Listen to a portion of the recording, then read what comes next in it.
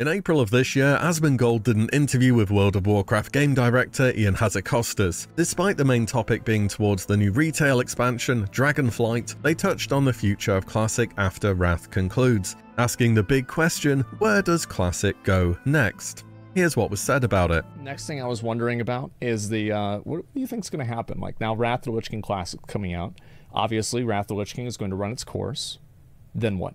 Um, yeah, so at this point, you know, we I'd love to hear from you, from the community as a whole, what you want to come next. Uh, I think Okay. we're gonna have, you know, we have a, a player base that really has made classic their home. Lots of stuff is on the table, but could be I really welcome that discussion now that the fact that we're doing Wrath is you know no longer the world's worst kept secret and actually something that's known, but we're listening.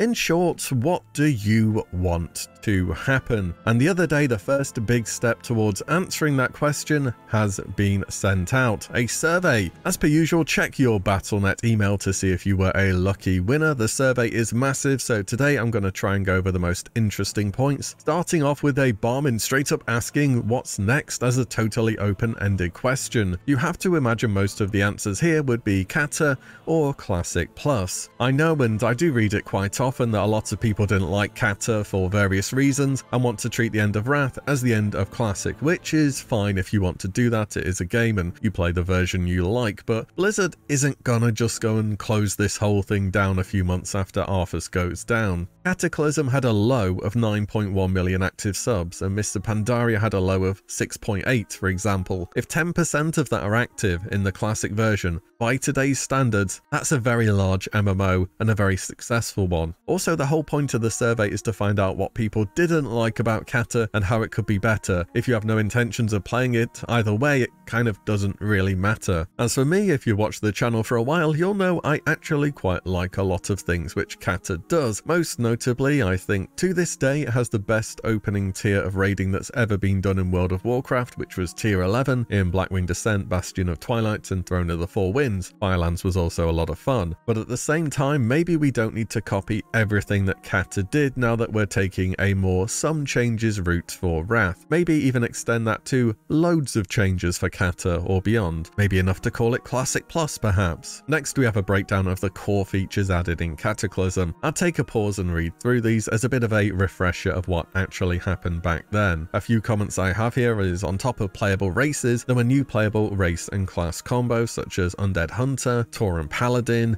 Gnome Priest, Troll Druid, and so on. They added archaeology as a secondary profession, which felt as though it was kind of not overly too well received. I remember it being incredibly grindy and slow, and I just never bothered with it. You could get some really cool stuff with it though, like epic weapons such as Zin'rokh, or even mounts like the fossilized raptor. They mentioned rated battlegrounds here in Kata. I feel like that's a free win for World of Warcraft whenever it's added to the game, and a lot of people would have liked that feature even if it was in Wrath. The biggest points which people didn't like would be the world revamp that changed Azeroth significantly, as well as LFR. Streamlining the talents is also up there, I think. And by the way, it wasn't just reducing talents from 71 down to 41, now you had to fully spend 31 points in a tree you picked before you could explore the other two trees. So outside of your talent tree of choice, you only had 10 points left, which was considerably more restrictive than Classic, TBC, or Wrath was, where you can do just about anything you want. One comment I have about this is that talents throughout Classic so far have been pretty standardized, as there are certain good builds. You can probably even tell me what the good builds are for your class. And a huge part of what made the old talent trees interesting is that they changed very often with each major content patch, sometimes in between each major content patch. Blizzard did specialization reworks mid-expansion back then. This doesn't happen for World of Warcraft anymore, and it certainly doesn't happen in Classic. I'd bet the vast majority of players copy-paste a build off a website whenever it comes to PvE or PvP. Also, if they remove the restriction of having to spend 31 points before you can access the other trees, it would totally revamp everything that is known about Cata class design. Just something to think about. They also say Cataclysm had quality of life such as AoE looting, I think that was the Mists of Pandaria pre-patch, spell alerts for procs, I've literally installed an add-on which already does this to the game for Wrath, it's called Classic Spell Activations, it's pretty cool if you play a class with procs, you should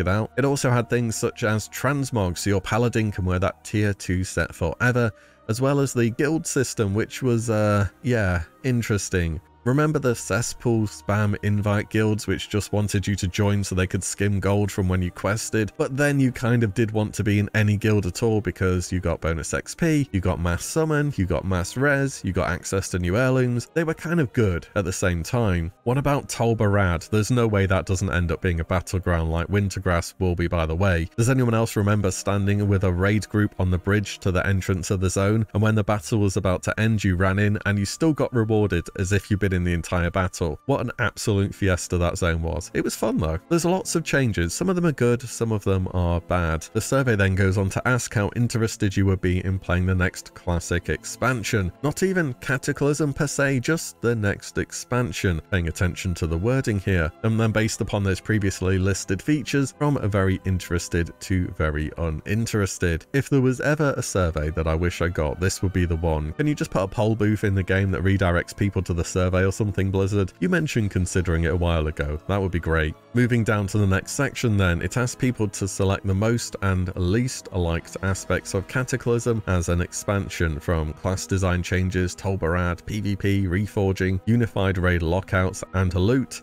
account-wide mounts and pets, as well as minor quality of life changes towards the bottom. Next, the options are listed again where the person taking the survey can elaborate on why they like or don't like something. We've not had the chance to do anything other than tick boxes so far in Surveys for Classic, so this is pretty cool. Now the next bit is interesting, so it asks you to pick a colour from the list. Depending on the color you pick, you're then asked a different follow-up question. I suppose the goal here is to randomize answers a little bit, as in if somebody who is super into changes saw a pro changes option, they're going to pick that, but they won't know what they're getting here and could pick something which is really anti-changes. How will that affect their answers? Will it be consistent? Will it be different? At least that's how I read into it. Some of the options have been shared, including a very pro changes one here, such as an expansion that retains some pre-cata features that were streamlined or simplified. You have to imagine this was linked to the talent rework. Excluding LFR, this is practically a given. If there's no LFD in Wrath, there is no LFR in Cata. The level cap being raised to 85,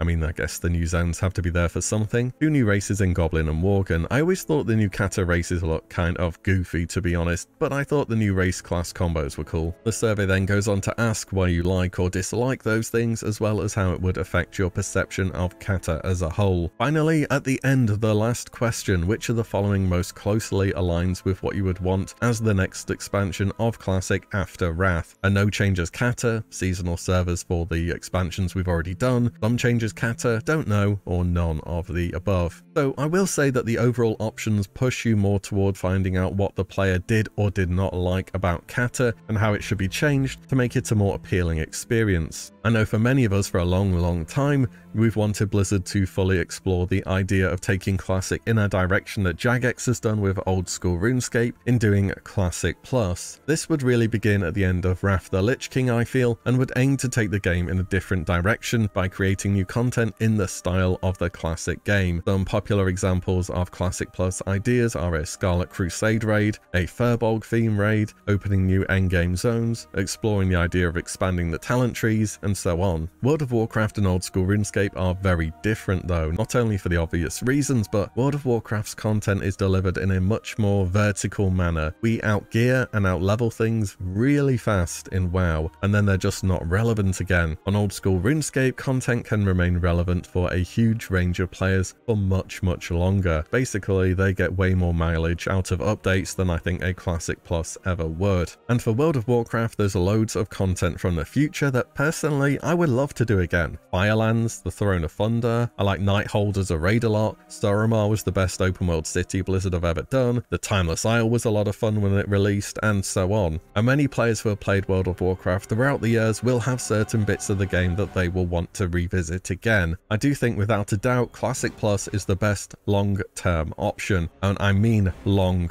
long term, like having Classic be relevant many years from now. But at the same time, I think there's going to be enough demand for the likes of Cataclysm, MOP and so on to do them again before that option is seriously considered. All in all though, I've always believed that Blizzard would do Cata and beyond and I want to say here it is in writing, they're just figuring out the details now. Who knows what Blizzard devs read on various content videos like this and posts, but do drop your thoughts down below about the survey, what you did and what you did not like about Cata, and what what you would ideally like to see after Wrath concludes. That's everything for today. Thank you all so much for watching and listening in, and I shall see you all in the next one very soon.